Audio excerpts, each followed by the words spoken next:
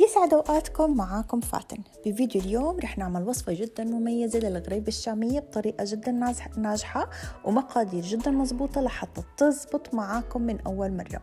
فإذا أنتوا أول مرة بتشوفوا قناتي هون لا تنسوا الاشتراك بالقناة وتفعيل زر الجرس لتوصلكم كل الأطباق القادمة إن شاء الله. خليكم معي لنهاية الفيديو لنشوف تفاصيل الوصفة وأسرار نجاحها وطريقة التحضير.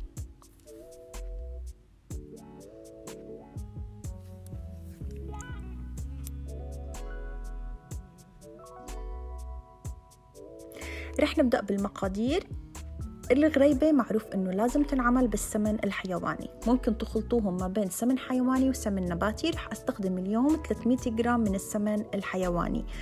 آه، خليط يفضل تستخدموا كمان نوعية سمنة تكون طعمها جدا طيب لحتى تعطيكم نكهة جدا رائعة. استخدمت البقر الحلوب بالإضافة لنوع السمنة الثاني البقر الحلوب بتعطيكي نكهة جدا جميلة. رح أستخدم 200 جرام من السكر البودرة. يفضل يكون إنه جاهز ما تطحنوه بالبيت لحتى تعطيكي نتيجة جميلة. وبالإضافة ل 600 جرام من الطحين المنخول طحين أبيض متعدد الاستخدامات. رح أستخدم كمان معلقة كبيرة من القطر بالإضافة لمعلقة صغيرة من الفانيلا البودرة. فإذا هاي هي مقاديرنا جدا بسيطة وإن شاء الله تجربوها وتعجبكم. أول خطوة رح نعملها حننزل كمية السمنة كاملة بالعجان. السمنة مثل ما قلت لكم تكون بحرارة الغرفة لكن تكون مائلة للبرودة. ما تكون كتير قاسية وما تكون كتير سايحة. كل ما كانت المكونات أو السمنة باردة رح تعطيني نتيجة أفضل ورح تكون سهلة عليكم بطريقة التحضير وسهلة عليكم بطريقة التشكيل حتى وقت الخبز رح تفرق معنا هاي الخطوة جدا آه، بالخبز. فإذا حنزل هلأ كمية السمنة كاملة. طبعا أنا بالفيديو مضاعف الكمية لكن ذكرت لكم الكمية الحجم الصغير. فهلأ نزلت مقدار السمنة وراح أبلش بمضرب التقليب أخلطهم مع بعض قبل ما أضيف كمية السكر. بخلطهم خلطة بسيطة وبعدين بنزل كل كمية السكر آه، فوق الخليط. طبعا راح أستخدم 200 جرام من السكر. ممكن تقليل الكمية إذا أنتم بتحبوها شوي آه، أنا قللت منها لأنه راح أضيف معلقة من القطر كمية السكر لازم تكون تعادل كمية السمنة لكن أنا بحبها ما بحبها تكون كتير حلوة فلهيك قللت من كمية السكر. هلأ بقلبهم بتقليبات بسيطة خفيفة لحتى تمتزج كمية السكر مع السمنة مع بعض. طبعا حضيف هلأ معلقة من القطر. القطر رح يعطيني آه لون ذهبي حلو وقت التحمير وراح يعطيني لون كتير حلو. إذا أنتم بتحبوها للون الذهبي تحمروها راح تعطيكم لون جدا جميل. هلأ بضلني أخلط فيهم لحتى يصير عندي القوام كريمي لونه فاتح بهذا الشكل. هيك صار معاي القوام ممتاز. هلأ نيجي للخطوة الثانية هي إضافة الطحين. إضافة الطحين أبدا ما تضيفوه آه، مرة واحدة لأنه رح تفرط معاكم ورح تخرب كمية الطحين رح نضيفها تدريجيا ونخفق على شكل خفيف لحتى تخلص عندي كامل الكمية. فإذا حننزل الكمية الطحين تدريجيا مع الخفق المستمر لحتى تمتزج كامل الكمية وبعدها بنرجع بنضيف كمية الطحين الباقية. هيك لحتى تخلص معاي كامل كمية الطحين. ضروري جدا إنه كمية الطحين تنزل تدريجيا لحتى تعطيني قوام عجينة مثل ما أنا بدي إياه وكمان رح يفرق معي بذوبان الحبة بعد الخبز. كل شوي رح نحركهم لحتى نتأكد إنه كمية الخليط اندمجت اندمجت كلها مع بعض. طبعا أنا كمان بضيف معاهم الفانيلا.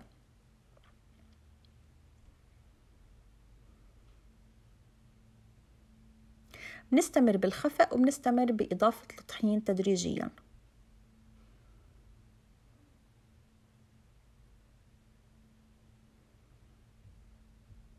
ما تبالغوا كتير بالعجن مجرد ما اختفت كمية الطحين ضيفوا الكمية الثانية هلأ بعد ما ضفت كمية الطحين كاملة وهيك صارت معاي جاهزة بدي العجينة تكون بهذا القوام. طبعا أنا قسمتهم لنصفين وعجنتهم لحتى آه، ياخدوا آه،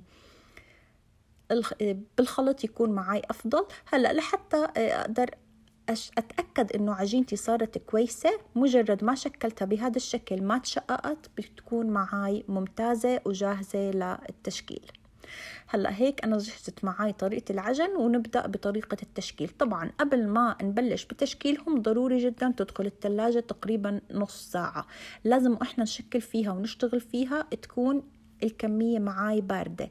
إذا أنت عاملة كمية كبيرة يفضل أنه تقسمي منها وتتركي الباقي بالثلاجة وتستخدمي الشيء اللي أنت بدك تشكليه. لازم يكون بارد.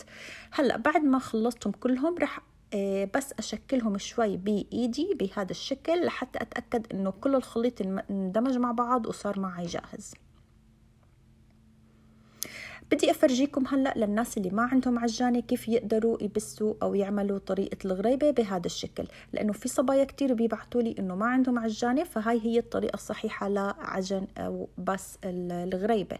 تعمليهم براحة إيدك وتعمليهم بهذا الشكل لحتى تاخد معاكي النتيجة هاي. نتيجة جدا طرية. إذا تشققت معاكي بتكوني ضايفة كمية طحين زائد. إذا حسيتيها إنها كتير بتدبق وما عم تم بتكوني آه، محتاجة لطحين. مجرد ما شكلناها بهذا الشكل تشكلت بكل سهولة معناته أنا آه، مع المقادير جدا ناجحة وكمان طريقة العجن جدا ناجحة. هلأ هيك صارت معي جاهزة ونبدأ بالمرحلة الثانية وهي مرحلة التشكيل. طبعا ضروري جدا إنه نحطها بالثلاجة قبل ما نبلش نشكلها.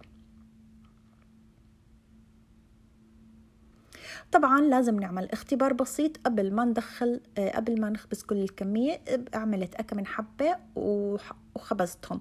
طريقة الخبز حتكون على 350 مجرد ما أخذت اللون هذا الذهبي الحلو بطلعهم تقريبا بياخدوا سبع دقايق. هلأ ليش رح نعمل هذا الاختبار؟ في حال الحبة فرشت معاكي كتير معناته بتكون الزبدة لإلها أكتر من كمية الطحين فمحتاجة لطحين. هيك بنعرف إنه محتاجة لطحين فبنضيف لها طحين في حالة شققت معاكي كتير وقت الخبز بتكون الطحين إلها كتير زيادة فممكن نضيف لها من معلقة لمعلقتين سمنة ونرجع نعجنهم بإيدنا وهيك بتنجح معاكي. فلهيك هاي الخطوة رح تسهل عليك إنه ما تخرب معاكي كامل الكمية. فلازم نعمل هذا الاختبار لحتى ما تخرب معاكي الكمية كاملة. وهلأ نيجي لطريقة التشكيل رح نشكلها بطريقة حرف أس. شوفوا العجينة ما شاء الله جدا جميلة. آه طبعا راح أفردها بهذا الشكل وأقطعها على شكل قطع صغيرة حسب حجم الحبة اللي أنا بدي أعملها. حابين تعملوا الحبة حجم كبير أو حجم وسط أو حتى حجم صغير مثل الجاهز. بناخد هاي الكمية حسب حجم الحبة اللي أنا بدي أعملها. بنفردها براحة إيدينا بهذا الشكل وطريقة تشكيل حرف الأس كتير سهل. طبعا الشكل المعتاد بهذا الشكل. جدا سهل ممكن تعملوها على شكل دائري وممكن تعملوها على شكل آه الشكل اللي أنتم حابينه.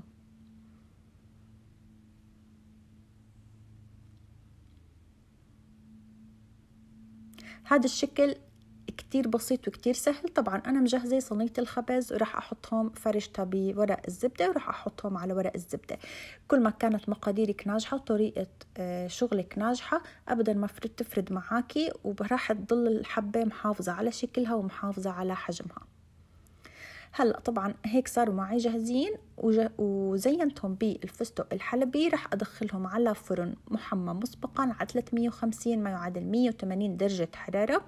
مجرد ما ياخذوا اللون الذهبي البسيط في ناس بحبوا كتير شوي يحمروها زيادة وفي ناس بحبوا يتركوها بيضة حسب رغبتك أنت بتقدري تتركيها بالفرن. مجرد ما أخذت اللون الأشقر البسيط من تحت بطلعها وبتصير معي جاهزة. طبعا أول ما تطلع من الفرن بتكون لسه طرية وكمان ما بنقدر نمسكها بتكون لسه كتير طرية. خليها نبرد تقريبا خمس دقايق وبنحطها بطبق التقديم وبتكون معاي جاهزة. ما شاء الله ريحتها جدا جميلة وجدا لذيذة. ولهون بتكون وصفتي خلصت معاكم لليوم. إن شاء الله الوصفة تكون عجبتكم. انتظروني بوصفات قادمة. إن شاء الله ويعطيكم ألف عافية.